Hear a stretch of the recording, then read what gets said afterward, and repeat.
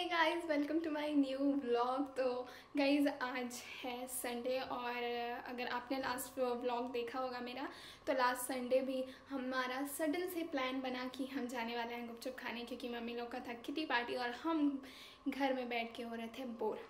तो आज संडे का भी हम पूरा फ़ायदा उठाने वाले हैं और आज भी हमारा सडन प्लान बना कि हम कहीं चलते हैं बाहर क्योंकि इतना अच्छा मौसम हो रखा है और बारिश बारिश का मौसम है जैसे।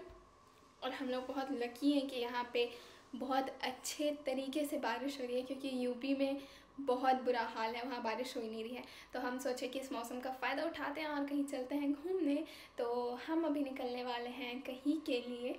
आ, वो हम कहाँ जा रहे हैं वो आपको ब्लॉग देख के पता चलेगा। तो आप एंड तक ब्लॉग देखिए और आपको ज़रूर पता चलेगा कि हम कहाँ जा रहे हैं। तो फ़िलहाल निकलते हैं क्योंकि अभी फिर से बारिश स्टार्ट ना हो जाए, क्योंकि अभी हल्की हल्की बारिश हो रही थी, अभी बंद हो गई है। तो फटाफट से निकलते हैं क्योंकि हम जहाँ जाने वाले हैं तो यहाँ से डिस्टेंस ट्वेंटी फाइव या ट्वेंटी सिक्स किलोमीटर है। मुझे भी अभी पूरा आइडिया नहीं है, लेकिन शायद इतना ही होगा। तो काफ़ी टाइम लगने वाला है जाने के लिए। तो फटाफट से निकलते हैं। तो गाइज़ अभी हम सब लोग रेडी हो चुके हैं निकलने के लिए लेकिन आज हम बस तीन जाने वाले हैं मैं निकी और दी। मम्मी नहीं जा रही हैं और भैया भी नहीं जा रहे हैं क्योंकि बस नहीं जा रहे हैं पता नहीं क्यों नहीं जा रहे हैं। तो मम्मी का मन था जाने के लिए कि नहीं? जाने का मन था आपका? बिल्कुल था। मम्मी को जाने का मन था लेकिन मम्मी को ऐसा मानना है मम्मी का ऐसा मानना है कि हम लोग मम्मी को नहीं ले जा रहे लेकिन हम लोग बोले हैं मम्मी को जाने के लिए और मम्मी नहीं जा रही हैं तो हमको अकेले जाना पड़ेगा। तो मिस करेंगे मम्मी को। चल चलो चल। जय श्री कृष्णा। जय श्री कृष्णा। मम्मी जय श्री कृष्णा। हाँ। हाँ हाँ हाँ हाँ जय श्री कृष्णा।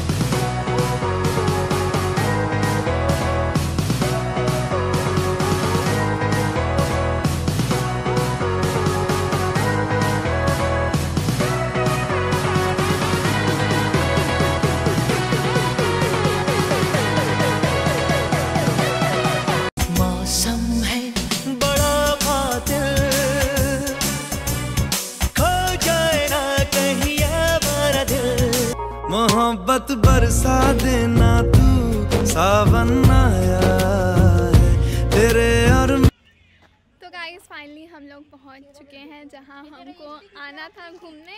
तो वो है खुटा घाट और यहाँ पे एक डैम है जो बारिश के टाइम में बहुत ज़्यादा पानी रहता है और बहुत अच्छा लगता है, बहुत अच्छा व्यू रहता है। इसलिए तो हम लोग सब लोग पहुँच गए हैं और सबका हालत देखिए।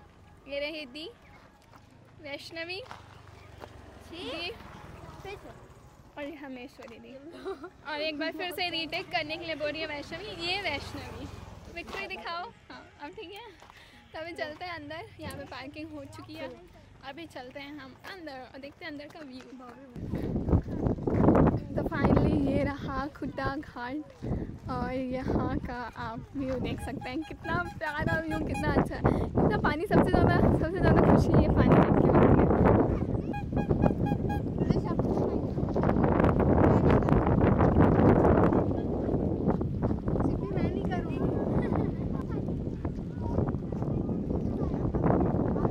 वो आइलैंड है। वहाँ भी जाने के लिए रास्ता होना चाहिए था मतलब यहाँ बोट होनी चाहिए थी। बट है नहीं, वहाँ जा ही नहीं सकते। वहाँ सिर्फ़ पक्षियों का बसेरा है और किसी का नहीं। वाह, हवा कितनी अच्छी हवा तो गाइस हम लोग अभी पहुँच चुके हैं जहाँ जैसे कि मैंने आपको बताया और यहाँ पे इतनी तेज हवा चल रही है लेकिन यहाँ का व्यू मज़ेदार है बहुत सुंदर है देखने लायक है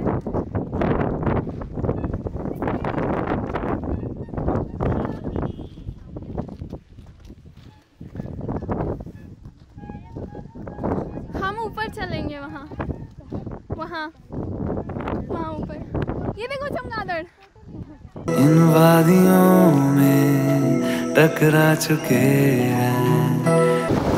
तो यहाँ पे अभी मौसम भी बहुत अच्छा हो रखा है, ना बारिश आ रही है, ना धूप है, और ऐसा लग रहा है कि बारिश किसी भी टाइम स्टार्ट हो सकती है। वैसे काले काले बादल दिखाई दे रहे हैं आसमान में, और बहुत अच्छी धीरे धीरे हवा चल रही है, बहुत अच्छा लग रहा है। गर्मी भी नहीं लग रही है, और बारिश भी नहीं हो रही है तो बहुत अच्छा लग रहा है। आप कैसे दिखाती हूँ? दूर दूर तक पानी पानी पानी पानी तो काफ़ी ज़्यादा अच्छा व्यू नज़र आ रहा है यहाँ से और काश हम यहाँ पाते तब बहुत मज़ा आता बट ऐसा नहीं यहाँ पे शायद बोटिंग नहीं होता है मेरे ख्याल से, क्योंकि यहाँ दूर दूर तक कोई बोट नज़र नहीं आ रही है इसलिए। काफ़ी ज़्यादा अच्छा लगा। तो अभी हम घूम चुके हैं खूटा घाट और मैं इसलिए इतना ज़्यादा थक चुकी हूँ, क्योंकि मैंने यहाँ पे डांस रिकॉर्ड भी किया और बहुत ज़्यादा ही थक गई मैं। तो अभी फ़िलहाल यहाँ पे घूम चुके हैं। आप मेरे पीछे देख सकते हैं पानी पानी है। और इधर पहाड़ है ऊपर। अब पता नहीं ऊपर जाना है कि नहीं वो मुझे नहीं पता। तो अब कुछ निकलता है घर की और, और लोग मुझे देख के हंस रहे हैं। क्योंकि ये पागलों जैसा हरकत की है। क्या ही बोल सकते हैं अब तो। यहाँ पे हम सब लोग आए हुए हैं खाने और अंकल भेल बना रहे हैं? यहाँ पे इसकी सुविधा उपलब्ध है। तो इसमें अभी डाला जा रहा है प्याज। ये प्याज डल चुका है और प्याज के साथ साथ है ये आलू और मटर टमाटर। तो अंकल रेडी कर रहे हैं और यहाँ पे सब लोग यहाँ पे बहुत सारे स्टॉल बहुत सारे नहीं दो स्टॉल है। एक ही स्टॉल एक ही स्टॉल। तो ये है ऊपर। पहाड़ जिस पे हम अभी तक नहीं गए हैं और शायद जाएँगे भी नहीं क्योंकि अभी बहुत टाइम हो गया और मम्मी का फ़ोन आ चुका है कि वापस आओ। और यहाँ पे भी अंकल से फ्री में लगाऊँगी बोल रही है यहाँ पे अंकल से सीख रही है कि भेल कैसे बनाते हैं क्योंकि अंकल लोग का भेल बहुत ज़्यादा टेस्टी होता है। हमारे घर में भेल उतना ज़्यादा टेस्टी नहीं होता। तो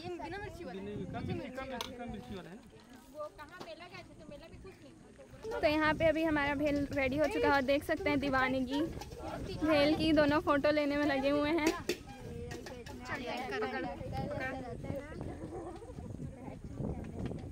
वैष्णवी अरे! मौका मत गवाइए। तो यहाँ पे मेरा भेल ख़त्म हो चुका है और इन लोग अभी भी खाने में लगे हुए हैं। तो इसकी जो सही जगह है वो कहाँ है मैं आपको बताती हूँ।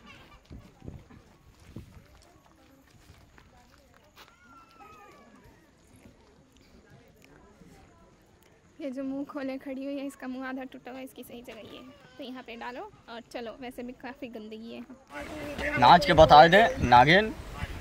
नाचो जी नाचो। अब भाग के हमार कतिया ही तो गड़बड़ा। दौड़ा के काटता है ज़बरदस्त। हाँ आप और बताओ। नहीं सही में ज़बरदस्त। नहीं तो नहीं पापे अभी रहो मस्त फन निकाल